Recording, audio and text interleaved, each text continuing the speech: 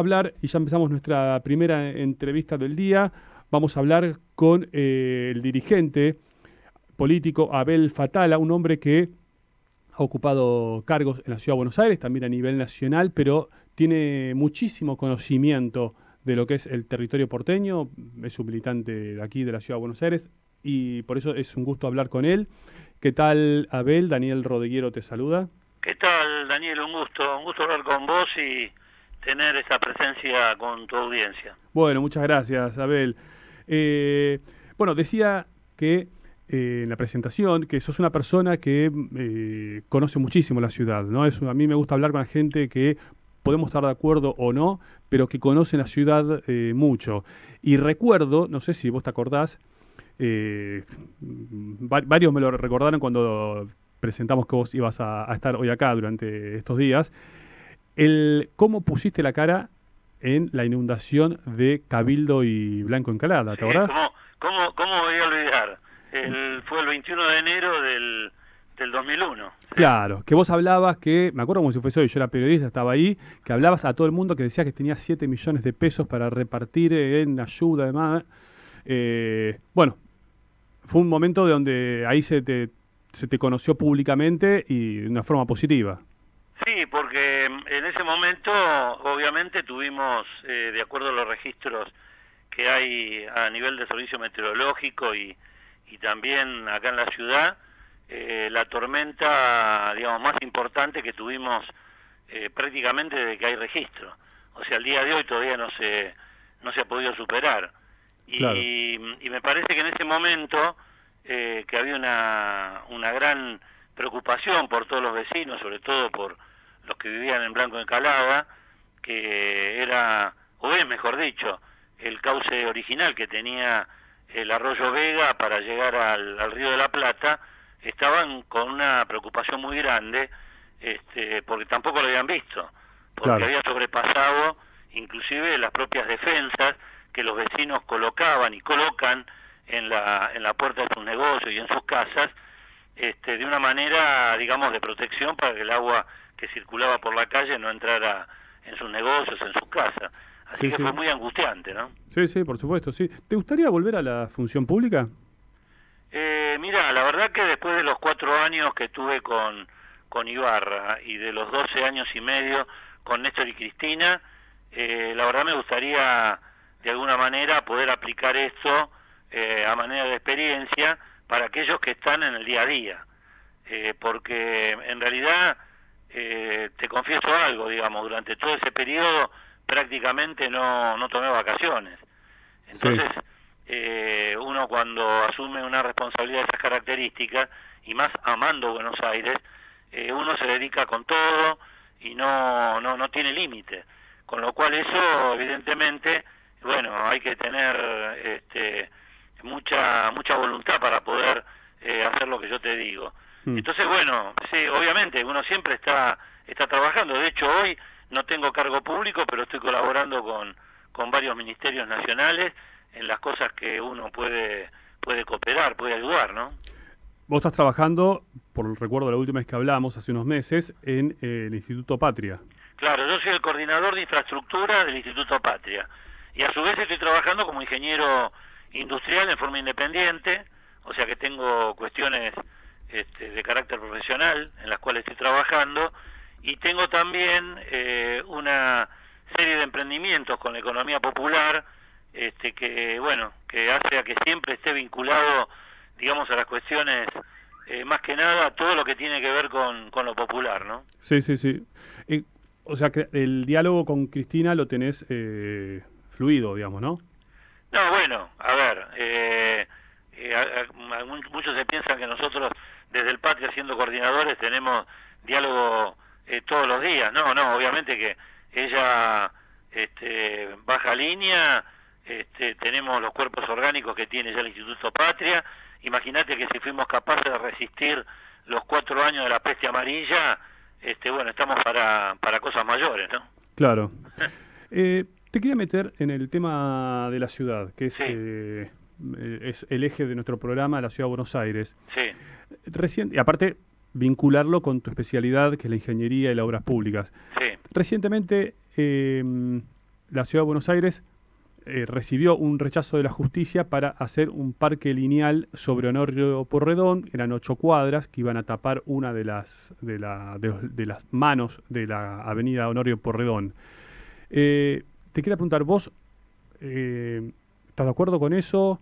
¿Crees que no se debería haber hecho? Tendría que conocer el proyecto ejecutivo, cosa que no lo han mostrado, y creo que tampoco pasó por la legislatura, porque como son obras en el espacio público, y no es este por ahí elementos que hagan audiencias públicas, es muy poca la información que se conoce. Lo mismo que, por ejemplo, lo que está pasando acá en la ciudad de Buenos Aires, en la zona, digamos, de Paseo Colón, eh, a la altura de la Facultad de Ingeniería, el Ministerio de Agricultura. Con el tema de los árboles. Bueno, el nivel de tala de árboles que han hecho, más que tala, destrucción, porque eh, han. Eh, yo, yo tenía pensado digamos, en su momento, hacer una ampliación de Paseo Colón sin pensar en el Metrobús, pero bueno, eh, es otro otro tema para, para discutir largo, ¿no? Eh, que se podía haber aprovechado eso como plazoletas centrales, porque en realidad eh, había espacio como para poder sortear los árboles que eran centenarios. O sea, fueron casi 20 árboles que fueron, en un principio empezaron con una poda, yo me acerqué, digamos, en un momento que pasé por ahí, hablé con uno de los encargados y me dice, no, lo estamos podando porque así es la manera de trasladarlo, lo cual me pareció coherente, porque no se puede trasladar árboles frondosos, sino que uno tiene que utilizar carretones y equipamiento, digamos, cuando eh, prácticamente desbrozaste, sacaste todo lo que sería la parte de, de ramas que le dan eh, volumen lateral y que no permitirían, por ejemplo, circular por las calles, lo cual me pareció eh, razonable. Inclusive hay plazoletas que están sobre Paseo Colón, que eh, hay árboles que están secos, se podrían haber trasplantado prácticamente a metros de donde lo hicieron, pero no, directamente eh, en una mañana nos levantamos los vecinos acá de San Telmo y vimos que estaban todos los árboles cortados, todos, ¿eh? Este, con lo cual, bueno, no solamente mintieron, sino también en forma subrepticia hicieron digamos, todo lo que es el manejo, digamos, de la logística necesaria para trasladar eh, los, los tramos de árboles que se cortaron. Claro. Lo cual me parece una barbaridad, una barbaridad. Eh, y siguiendo con el... Con el Honorio Purredón. Eh, ¿Cómo? No, no, con Honorio Purredón, que al final... Sí, pero Honorio Purredón derivamos acá a Paseo Colón. Claro, y... No, y Purredón no, te es, es una avenida muy ancha sí. que realmente tiene muchas bondades. Este, yo ahora no, no tengo los números exactos de la cantidad de vehículos que circulan, digamos, si generamos una línea este-oeste, eh, no sé en qué sentido circulan este-oeste o este-este. Este, La verdad que no conozco el proyecto, con lo cual es muy poco lo que podría llegar a opinar. No sé si vos tenés más información. Claro, eh, sí, sí, no, hay, hay, están todos los renders que, pasó en el Ministerio de espacio público, pero eh, bueno, el problema, está bueno que hayamos pasado al Metrobús por un tema ambiental de los árboles, porque eh, te quería aprovechar para consultar si vos sabés qué está pasando con los bajos viaductos, que iban a ser parques, comercios y demás, y, y, no hasta ahora siguen terreno, digamos, olvidado. No, bueno, lo siguen llamando el Paseo del Bajo y el Parque Lineal, pero en, en realidad lo que hicieron fue eh, todo lo que es la superficie por fuera del viaducto, eh, de poner eh, algunas especies verdes, pero no, no dejan de ser canteros, digamos, ¿no? O sea, cuando hablan de espacios verdes, yo creo que están tomando en forma muy equivocada lo que significa espacio verde. Espacio verde en una... No, pero yo te hablo de, de los viaductos, ¿eh? ¿Cómo? Te estoy hablando de los viaductos, no del paseo del Bajo, ¿eh? ¿El viaducto cuál, de ellos? Ah, no, el viaducto de la zona norte. Los viaductos de la zona norte y el de San Martín. Claro. Eh, bueno, mira, en eso yo creo que eh, deben deben tener el proyecto para realizar eso este, y no deben conseguir, digamos, quienes de alguna manera inviertan en esos lugares, ¿no? Porque yo creo que son lugares que tienen una gran una gran jerarquía desde el punto de vista urbanístico. Eh, la verdad que se podría llegar a a mechar entre lo que es eh, parte de la infraestructura comercial que se necesita este, con espacios que puedan llegar a hacer extensión de los museos que tenemos en la ciudad, como una mm. manera, digamos, de ir eh, difundiendo la gran riqueza que encierra la ciudad en sus en sus museos, ¿no? Pero no creo que estén pensando en eso. ¿eh? ¿Estás de acuerdo con eh, que el gobierno de la ciudad lo sigue promocionando y que dicen que se va a hacer? A mí me parece una mega obra, me parece medio raro, pero eh, ¿estás de acuerdo con el RER? Ese, el, no sé si está, conoces el RER, que es eh, la continuación del tren que viene de Constitución, se mete por abajo, por toda la 9 de julio y sale, eh, creo que por retiro. Eh, Mira, yo te digo una cosa, eh, teniendo en cuenta cómo maneja Rodríguez Larreta la ciudad o el Macri Larretismo acá la ciudad de Buenos Aires, lo veo muy difícil, porque la única obra importante que han hecho este, ha sido con soporte, digamos, de recursos del gobierno nacional. O sea que fue en la época de, Macri que de alguna manera volcaron recursos para hacer tanto los viaductos como el Paseo del Bajo. Hmm. Eh, y fueron obras que de alguna manera eh, las manejó la ciudad. En el caso de los viaductos no, porque tenían de alguna manera el compromiso con la gente de transporte, pero es lo mismo, digamos, inversiones que se hicieron en la ciudad. Ese tipo de obra, con el nivel de, de, eh, de ingeniería que se necesita, y, de la filosofía que aplican para la obra pública en la ciudad, yo te diría prácticamente que con la red estaba vía muerta. Porque vos fijate, si prometieron 10 kilómetros de subterráneo y no lo hicieron, ¿cuál es el motivo por el cual harían una conexión norte-sur de Constitución con Retiro? Porque en definitiva se trata de eso. Este, yo particularmente no lo veo. ¿eh? ¿Y qué pasa que no se continúa con el subte? No, bueno, porque yo creo que la idea es tratar de mostrar obras que, que se vean.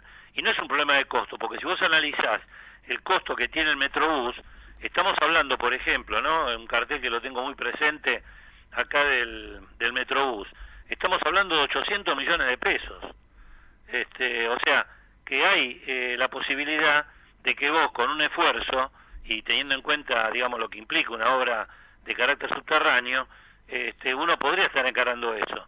Pero yo creo que prefiere las obras de superficie porque se ven mucho más y eso lo que hace es reforzar la idea de que la ciudad siempre, digamos, está haciendo obra pública. Pero yo mm. creo que eh, estudiando los números creo que encierran un gran negocio, ¿eh? porque yo he visto de alguna manera cómo han trabajado los distintos metrobuses y realmente es una barbaridad. Aparte, eh, hablamos del subte, ¿no? Y bueno, y hay una línea que, falta completar, que son que es la J, que justamente es la que une con Barracas, el microcentro con Barracas, que sería muy bueno para todos los que viven en la zona de Boca Barraca, bueno, que se contradice con la obra del, del Metrobús, con lo cual queda claro que ya prácticamente las obras del Metrobús, las, las obras del subterráneo, las tenemos que, que dejar, por lo menos la reta, este, las deja de lado, ¿no? Sí, eh, y viniendo ya a la parte más política electoral, eh, en menos de dos años vamos a tener un nuevo jefe de gobierno.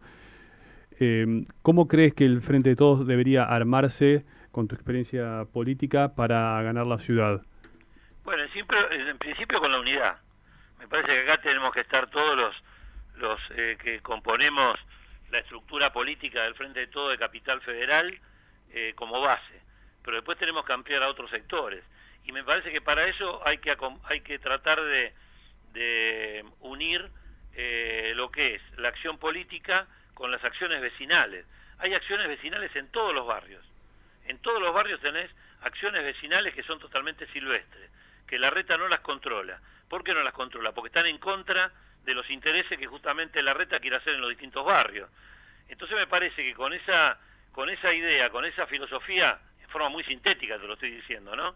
Me parece que se le podría hacer un gran frente de eh, resistencia a las políticas de la reta, ¿no? Hmm. Eh, ¿Crees que candidatos hay, digamos, con, con, nombres? Pues se han probado muchísimos nombres de todo tipo, desde nombres de la Cámpora, desde eh, Lamens, eh, gente desconocida, gente del periodismo, y, no han logrado a tener un número sustentable. No, por eso, me parece que el problema no es el nombre, ¿no? Esto demuestra, lo que vos estás planteando demuestra con toda claridad que no es un problema de nombre. Me parece que es un problema de políticas y organización. Y me parece que hay que armar un gran colectivo que permita unir las cuestiones que eh, se eh, deciden desde la política, desde la política que tiene que ver con el frente de todos, con los vecinos. No hay otra alternativa. Y después también una cosa muy activa que son todos los centros de jubilados. La ciudad de Buenos Aires es el lugar en donde mayor densidad de eh, centros de jubilados tenés. Y me parece que también es muy importante. ¿Por qué? Porque la población de la ciudad de Buenos Aires, si hay algo que la caracteriza, es que es muy longeva. O sea, mm. tiene prácticamente más del 30-35% del padrón con mayores de 60 años. Y me parece que esto no es privativo de un barrio. Están en todos los barrios, como, como, como es la distribución de la, de la ciudad. Y me parece que ese sería, digamos, el, el elemento central como para poder hacer un frente muy amplio que permita eh, arrebatarle a la reta, porque ya lleva, bueno, eh, 12 años, ¿no? De, de gestión, va, por el, va para cumplir las 14, con lo cual, eh, evidentemente, eh, me parece que una de las cosas centrales en las cuales tenemos que, que, trabajar es en esta unidad que te digo, ¿no? Lo político del frente de todos con todos los que eh, desde los barrios están planteando cosas que no son escuchados por la reta. Entonces me parece que de ese lugar, organizándonos y organizando todo esto, creo que se podría llegar a armar un frente contra eh, el Macri y el arretismo, ¿no? Sí, y te hago la última, Abel. Yo recuerdo, ya te digo, hace muchísimos años, eh, que vos has hecho habías hecho un gran trabajo con justamente con, jubilados desde tu partido, Red por Buenos Aires, me acuerdo te acompañaba Sandra Dosh en ese momento. Sí. Eh, y, y, me vas a acordar a entrevistas que hicimos con gente del kirchnerismo aquí en este programa, en la cual ellos reconocen que uno de los problemas por el cuales eh, se dificulta ganar es que la agenda que maneja el Frente Todos en la ciudad no está vinculada con el vecino, con las necesidades reales del vecino. Bueno, por algo te estoy planteando la necesidad de juntar a la militancia política con los vecinos, ¿no? Para tener mayor cercanía. Viste que se habla mucho de la necesidad de la cercanía, sobre todo en una ciudad como esta. Entonces, la única manera que tenemos nosotros para poder hacer frente a un proyecto eh, totalmente liberal, como que desarrolla este, el Macri y el en la ciudad de Buenos Aires, y bueno, la única posibilidad es que la militancia tenga un nivel de cercanía con los vecinos que permita justamente hacerse eco de sus demandas y representar esas demandas. Y yo creo que lo tendríamos que estar haciendo ya desde la legislatura de la ciudad de Buenos Aires, que en muchos casos los legisladores nuestros lo hacen, pero eso tiene que ser de una potencia, digamos, que abarque a todo el espectro eh, militante de la ciudad de Buenos Aires y no eh, hechos aislados. Me parece que ese es el efecto que tenemos que lograr para las próximas elecciones. No estamos lejos, ¿eh? pero eh, hay que trabajar mucho. Bien, bueno, bueno, Abel, nada, gracias como siempre, ya hemos hablado en otras oportunidades y bueno, vamos a volver a llamarte. Bueno, gracias a ustedes, ¿eh? Bueno, gracias. ¿eh? Bueno, fue Abel Pose, eh, Abel Pose, Abel Fatala, eh, ex secretario de Obras Públicas de la Nación, dirigente del Frente de Todos, trabaja en el Instituto Patria y conoce muchísimo la ciudad. Como